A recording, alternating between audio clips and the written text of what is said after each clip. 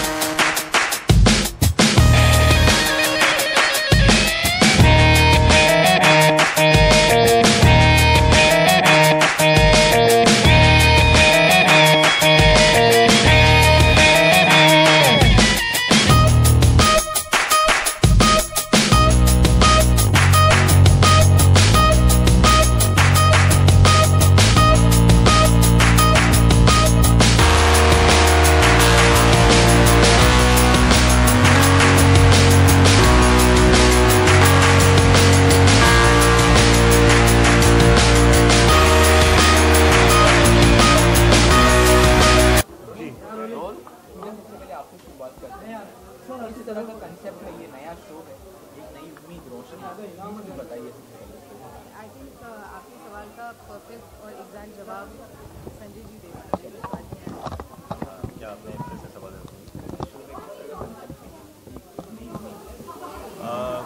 ये एक डॉक्टर लड़की की जर्नी है, जो अपनी जर्नी में अपने प्रोफेशनल और अपने पर्सनल लाइफ दोनों को रिडिस्कवर करती है। संजय जी ये जो मेडिकल के ऊपर आधारित है हॉस्पिटल के ऊपर अभी इस स्टोरी से आपने जो ये लिखा हुआ है इससे क्या? अभी इस समय का प्रेजेंट टाइम में जो करप्शन हो रहा है हॉस्पिटल में इंडिया में क्या इसको देखने के बाद कुछ डॉक्टर अपने अंदर कुछ मानवता लाएँगे? मुझे नहीं लगता किसी शो को देख के कोई अपने अंदर मानवता लाता है बट हाँ। देखिए ये बहुत ही आसान है कहना कि डॉक्टर्स करप्ट हैं या हॉस्पिटल में करप्शन होता है, ये हर जगह करप्शन है, हर फ़ील्ड में करप्शन है। वैसे हो सकता है इस फ़ील्ड में भी करप्शन हो बट ऐसा नहीं है कि सिर्फ़ ऐसा ही है। इसमें ऐसे लोग भी हैं जो अच्छा काम भी कर रहे हैं। तो हमने वो बैलेंस दिखाने की कोशिश की, हमने दोनों चेहरों को दिखाने की कोशिश की है अपने कैरेक्टर्स के थ्रू इसमें ऐसे लोग भी हैं जो इस प्रोफेशन का फ़ायदा उठाते हैं गलत चीज़ से।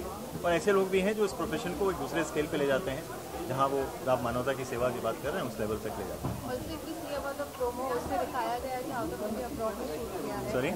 It is been shot if you talk about the promo it is been shot somewhere out I guess London so you know how was the entire experience? Did you guys uh, visit london for the shoot? Yeah. how was your uh, you know experience visiting Uh, we, we did go to London. We shot uh, you know a, a lot of the show uh, in London and it was an amazing experience. जब आप एक real location जहाँ की story दिखाई गई है वहाँ जाकर शूट करते हो तो एक ऑथेंटिक फील आता है so yes it was it was amazing So you think this uh, this show will set apart talk about other? Yes of course it will it will इसमें हमें क्या नया दिखेगा आई मीन जैसे कि हम देख सकते हैं कि संजीवनी जैसे सीरियल जिसमें डॉक्टर की रोल पे हम देख सकते हैं बहुत सारी तो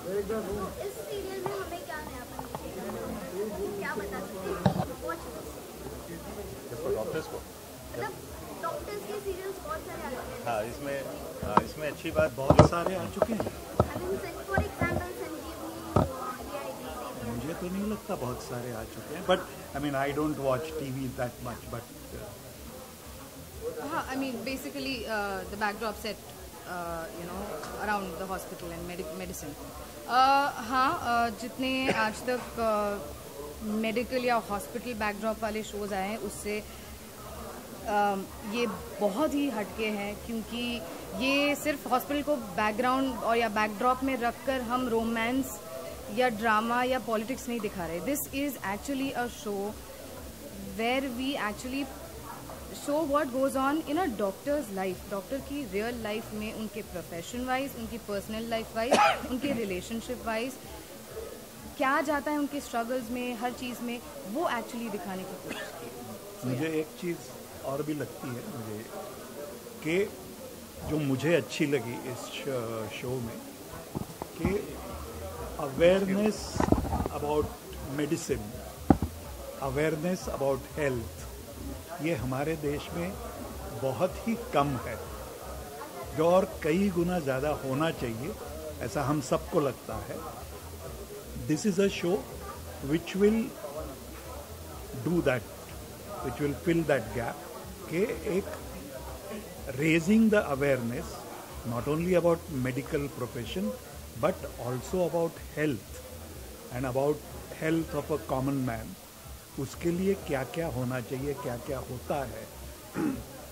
क्या खामियाँ हैं? क्या अच्छा हो सकता है, क्या अच्छा हो रहा है?